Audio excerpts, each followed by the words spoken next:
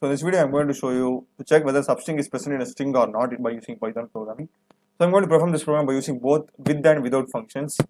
So first I will go with the function one. So just open your Python editor.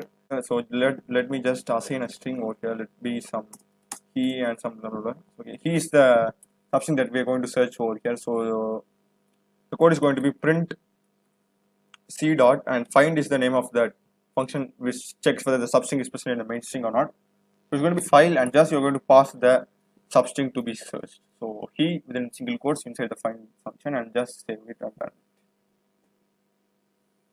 So okay, you can see here one. So one, what does one means? One is a count actually. So he is present only once, and uh, so it this can be simply done by using a if loop and if this passing this condition c dot find and printing just found or not.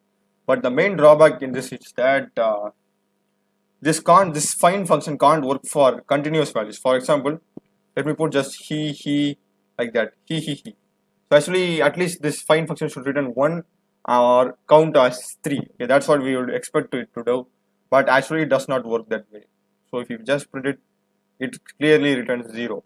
So that means that it uh, validates based on words. Okay, uh, words and it calculates only the word with spaces, and it does not perform anything on an without words. Okay, you can't search a so like a substring without a word. Okay, it should be only a word in the particular sentence or a string.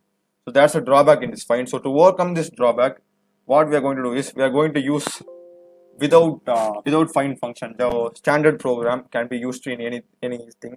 So we are going to do perform a program without using find function to find a substring in a main string. So first, let me just uh, same thing. We are just going to get a string. So it will be hello. It will be some that same thing. He he llo something random thing. Okay, same thing. So you can even input it. Okay, no problem. Input it from the user. So I'm not doing that.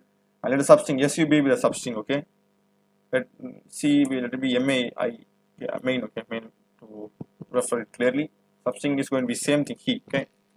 Or substring we have got the main. Thing. Okay. First thing what we need to do is we need to find the length of the substring. That's the main thing. First, what we're going to do. So let me say L equal to len. So len is a simple returns the length as length of sub substring. So if you want, I will just print and show you the output. Print L. Okay. For those who don't know, basic thing. Okay. So you can see here and two. So because he he only two digits, two letters are there. So okay. So we are now good. So next thing, what we need to do is suppose let us assume let us still modify some other random things are there. Okay. Some random letters. Okay. We need to find only he okay from this main substring.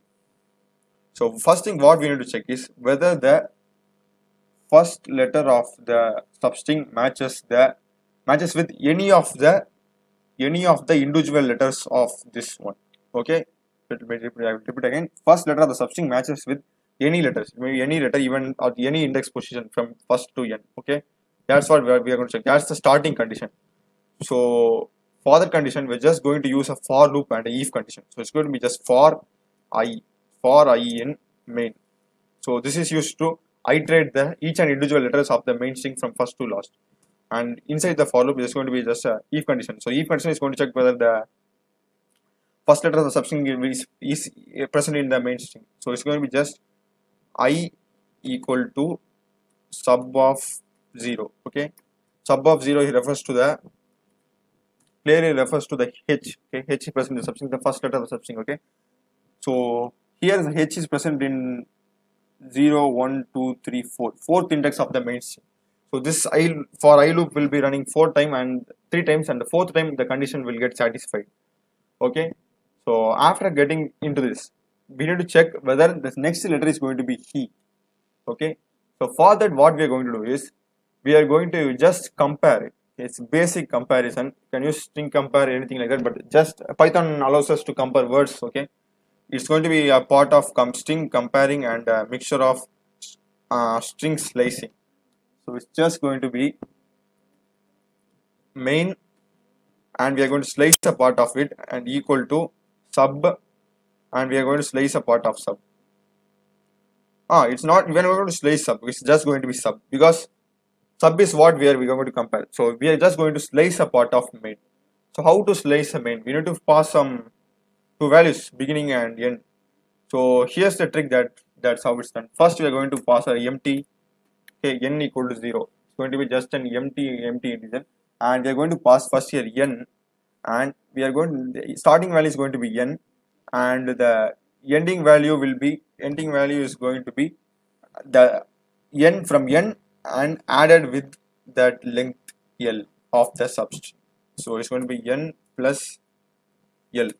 Okay suppose we are starting from 0 suppose we are in 0 starting value will be 0 in the first iteration and the ending value is going to be if I'm assuming the first value is going to be h starting value is going to be 0 and the ending value will be 0 plus l 0 plus 2 so it's going to slice from 0 to 2 so 0 to 2 repeats uh, will return the ld just it will ld I'm saying is an example. So it will compare with sub okay? So by this way multiple two letters first two then second two then third two like this I'm pointing it over. Then the next the fourth two okay? This he will get our condition will get satisfied over here. So during this time this if condition if main dot uh, this condition will get satisfied 100% and let's create and after once this condition is satisfied we will just increment the count. Count plus plus okay? So no worries I will create count equal to 0 okay the advantage of doing this method is that we not even we not uh, we can check both whether the, whether the substring is present and even we can even return this count which can't be done in find okay?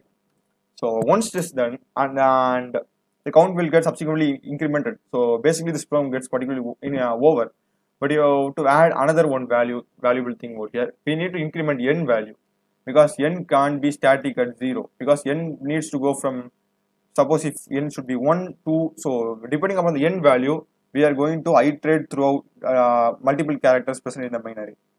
So for that what we are going to do is uh, currently inside outside the if first if. So it should be actually uh, comes under the for loop itself. So for and if uh, uh, for and if and this n has the same priority in, inside the for loop so you're just going to put n equal to n plus 1 or n plus 1 something uh, let for clear understanding n equal to n plus 1 so simple thing. So this takes care of the iteration of n value. So let me show you a simple example okay? First first thing okay let me clearly explain it. So first l first n is 0 so for i in main. I will check whether i is equal to sub of 0 condition fails because sub of 0 is h l is not equal to h. So it won't go inside this and next thing n value will be getting incremented. So n value becomes 1 okay. So again so i value will be also getting me also getting incremented. So i will be d. Okay. So d not e, not not equal to condition fails not will not go inside the if condition. N value will be incremented i value will be incremented. So like p it won't go inside and n value will reach 2 and after uh, reaching here uh, n value will be 3 and i will be okay n value will be 3 while reaching h n value will be equals equaling 3 n equal to 3 okay. n equal to 3 so when n equals 3 i will be h okay? So h is equal to sub of 0 and the condition is true. And okay? And main equal to n plus l.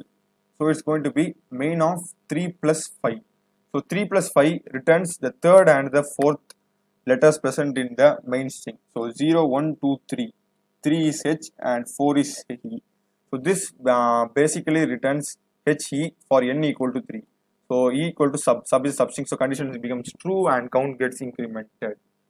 So this process will get repeated until the last element okay? Until p. So can stop before that because that doesn't uh, that doesn't cause a huge problem. So just that's the code. Okay now just print finally print count okay? That's it. Let me run this code now invalid syntax uh, okay. Count plus plus okay. So let just let me just put count equal to count plus one. Module. And now you can clearly see 3 okay. So he he he clearly you can get the count okay. That's using c plus plus count plus plus. So i thought of doing it python okay. So now if i just uh, delete all the now this null is present here.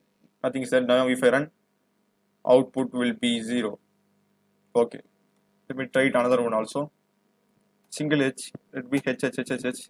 But there's actually only one he over here. Now let me run it. So count is 1 and uh, without this count also this yes you can also add the string is found like that something. If you can use if condition and uh, I will do that also to show you so if count uh, is greater than 0 uh, this should come outside the for loop. Print uh, substring present then just go to else. Else print not present. That's it. So by this way you can also just if you want to check whether the it's present or not. So this is a simple way and uh, that's it and thanks for watching. And i've done many other tutorials in different languages. Check just check out my playlist of my channel. Thank you